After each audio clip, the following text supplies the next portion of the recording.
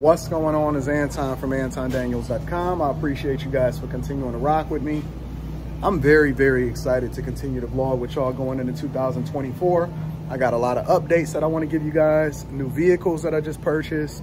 Some of you are familiar with what it is that I already got because you're a part of the Millionaire Morning Show.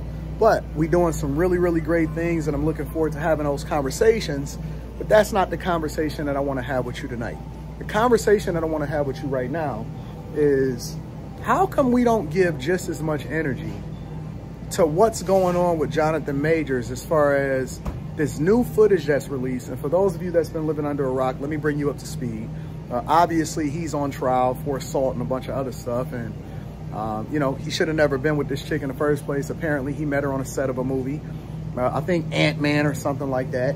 And she's basically ruined his life by accusing him of doing something that obviously he didn't do recent footage has basically been released showing that he's running away from this chick. He's on the New York City streets. Thank God that we got cameras because there are so many different guys that's been accused of stuff that they didn't do. He's on the New York City streets running away from this chick that's chasing him. Then she goes out to the bar, parties, no visible signs of trauma. Thank God that uh, we got audio and video and all of this other type of stuff. And then, you know, it's a lot of guys and women are saying, Anton, why do you care about what happens to Jonathan Majors? You don't know him. Well, that's true. But then at the same time, it can happen to any one of us, right? And so it's not about whether or not I care about Jonathan Majors. It's about what it is that he represents. He represents a guy that has dedicated his entire life, his entire life to his craft. Great at what he does. Was at the top of his field. Ant-Man, Creed, all of these different motion pictures, Loki, and all of this other type of stuff. He was basically about to be at the center and the core of saving the Mar Marvel Cinematic Universe, which was absolutely trashed without him. But that's in a you know a whole nother conversation. But my point is, is that his entire downfall was largely based off of one woman's accusation, and that was enough to, for him to lose all of his sponsorships, all of his potential opportunities. Marvel, as stupid as they are, now, think about this. Think about this for a minute. DC still got Amber Heard, if I'm, if I'm not mistaken, over in Aquaman. But Jonathan Majors, and, and she was proven to be a complete liar, even to the point to where when I seen the release of the new Aquaman trailer, and I seen her in it, and then you go down into the comments, clearly people are like, yo, I don't even know if I can support this, you know, considering that Amber Heard is still in it. But then Jonathan Majors is accused. The prosecutor is still prosecuting him, even though there's evidence that shows otherwise, both audio and video. He loses everything based off of an accusation because he's never going to get that back, right? And they're still trying to prosecute him and throw his entire life that he worked for down the drain.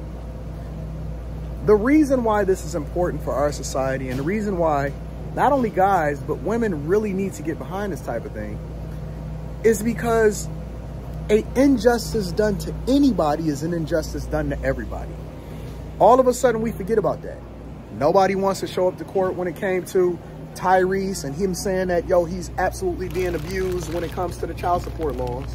But then we want to have a conversation about what it is that we need to do for women or let some woman accuse a man or anything like that and then the whole world stops and then all of a sudden black girls rock right?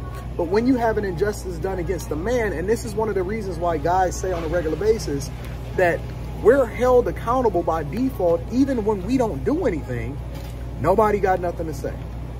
Nobody's concerned. Nobody's interested in having a conversation about it. Everybody just going about their day. Now when he got accused of it everybody was holding him accountable and saying how trash he was, even to the point to where there were women that was saying that he shouldn't have been talking to a woman that wasn't looking like them in the first place. What does that have to do with the price of potatoes in China? How is he still not being supported because he's a human being? Black women align themselves with white women in order to continue to push forward the feminist movement to their own demise, breaking up their own families. But you're unwilling to hold accountable a woman similar to the same way that they did Amber Heard and Johnny Depp. You're unwilling to hold a, a woman accountable and everybody just forget about it like nothing ever happened. Travis Rudolph, chick just empowered her brothers to go and crash out in order to try to ruin this dude's life.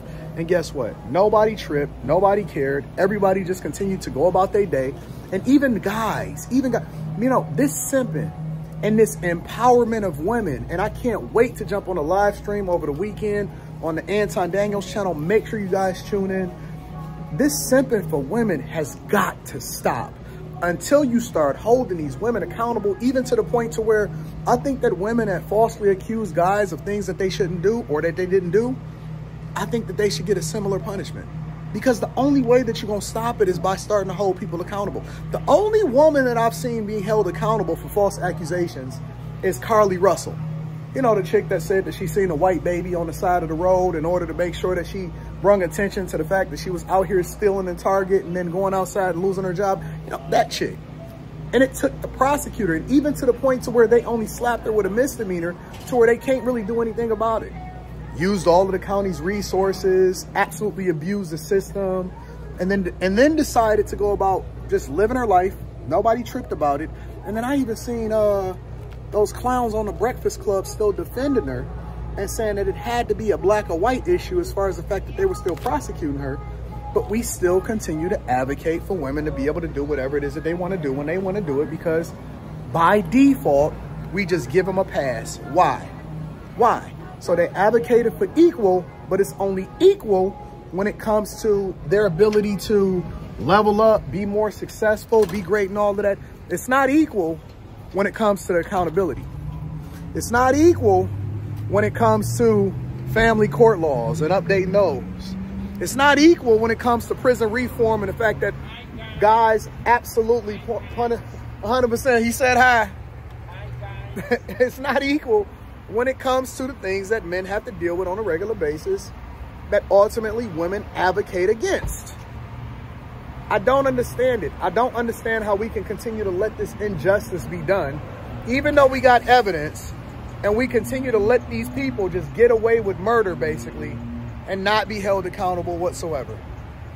It's disrespectful, it's unfortunate, and it continues to contribute to the downfall of this great country because we've let things go, go and spiral so far out of control to where we can't even put the genie back in the bottle. We already gone too late. But I'm going to just continue to beat this dead horse. I'm going to continue to advocate. I'm going to continue to push. I'm going to continue to uh, use my platform and my voice in order to bring visibility to it. And I know it's not a popular subject to talk about. I can talk about things. I know that there's things that I can talk about right now that get way more visibility, way more views, make me way more money. But, but instead, I'm going to go ahead and stick with my guys and push for my guys to continue to be great. And the one way I can do it, the one way I can do it is because you know I hold my guys accountable and I push them. But then at the same time, I gotta make sure when I see an injustice, I'm gonna just call it out when I can and if I can, and when I can use my platform in order to do so. It's important. I've been following this and capturing this the entire time on the Millionaire Morning Show, giving y'all the quick hits, giving y'all the updates. And then when the trial is concluded, then I'll give my final thoughts. But in a general sense, it's disrespectful. It's unfortunate. And guys gonna continue gonna they gonna continue to have to go through this as long as we act like it don't exist. Make sure you hit a like for the YouTube algorithm, subscribe to the channel, and turn on your notifications. Um, tab into the Patreon. Link is in the description as well as pinned to the top of the chat, bro.